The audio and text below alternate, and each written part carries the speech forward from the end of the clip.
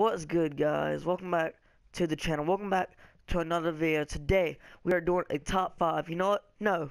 We're doing a top 10 of my favorite current WWE wrestlers. So let's get straight into this video.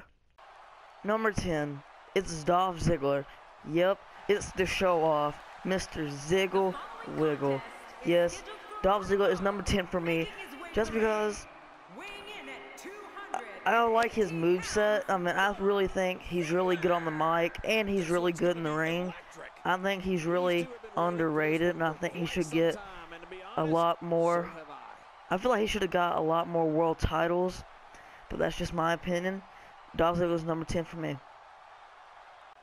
Number 9, it's Sami Zayn.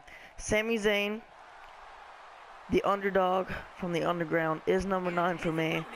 Just because I feel like I feel like he should get a lot more than he gets in WWE. I mean, he's had a couple good feuds like with Kevin Owens. Braun Strowman was okay. He's in the Money in the Bank. Like when I'm recording this video, he's in the Money in the Bank ladder match for the SmackDown WWE World Heavyweight Championship. And I think that Sami Zayn should not should should win it and cash in against Jinder Mahal, like at SummerSlam or something like that. Because Sami deserves a lot more. So Sami's number 9 for me. Number 8, it's Braun freaking Strowman. The monster of among men is number 8 for me. He's just so great. Like, he's one... I don't know how to say this. He's one of the best big men in WWE right now. He's like, he is the best big man in WWE right now. He's just so entertaining. I like the way he don't care. He just wants to beat up people. It's just so awesome. So he's number 8 for me. Number 7. It is the Viper, Randy Orton. I like the way he's holding that world title, but he's not anymore in real life. But whatever. And just... But it's like... Randy Orton is my first ever favorite when I started watching in 2011. Yes, I started watching WWE in 2011, but Randy just started becoming my favorite wrestler in 2011. Because, like I just said, he was my favorite in 2011 because his feud with Christian was really good to me. And yeah, so he's number seven. He's one of my favorites of all time. That's why he's on the list. He's number seven. Number six, it's Samoa Joe. Samoa Joe has been doing really good on the main roster so far. I just wish that Samoa Joe has held a title on the main roster. Maybe the intercon, maybe he'll fight Dean for the Intercontinental Championship, and he might win that. But I might not want that because you'll see it on later in the list. So number six, it's Samoa Joe for me.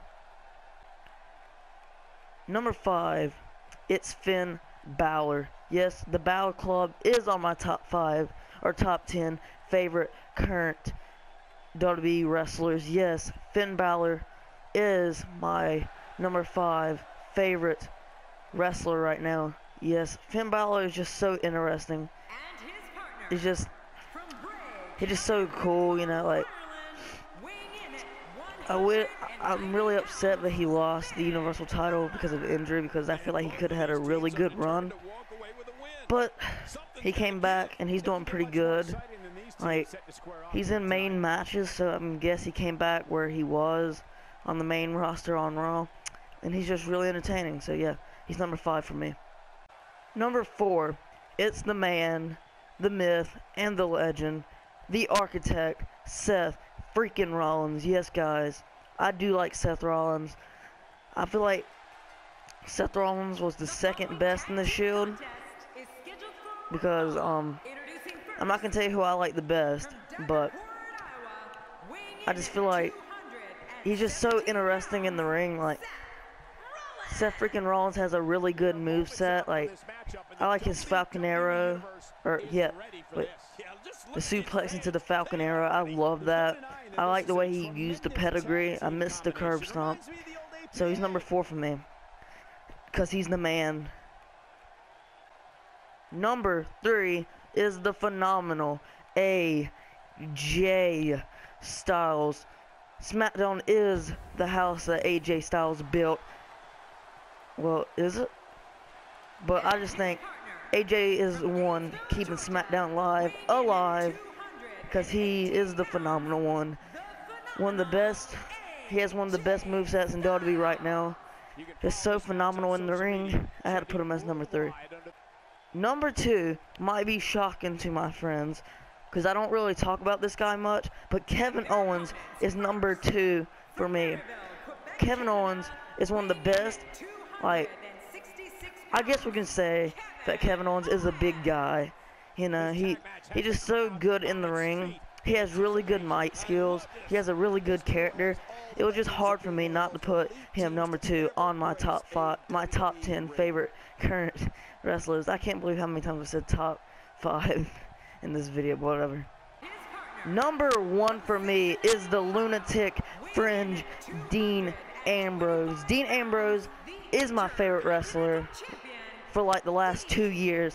His lunatic character in 2014 was so like good and like it's still good to this day. Like he went from a serious lunatic to like the funny lunatic. I love his character. He has a good moveset. So Dean Ambrose is number one for me.